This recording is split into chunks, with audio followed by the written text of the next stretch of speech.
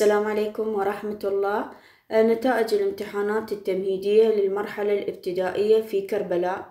المديرية العامة للتربية في محافظة كربلاء المقدسة تعلن نتائج الامتحانات التمهيدية للمرحلة الابتدائية للعام الدراسي 2023 وهذا رابط النتائج راح أنزله بالوصف وأول تعليق ونزلته بقناتي على التليجرام.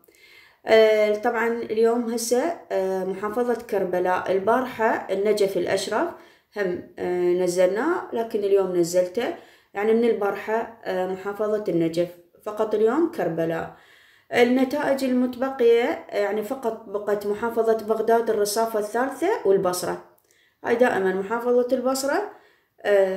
آخر شي آخر المحافظات يلا تنزل رابط النتائج.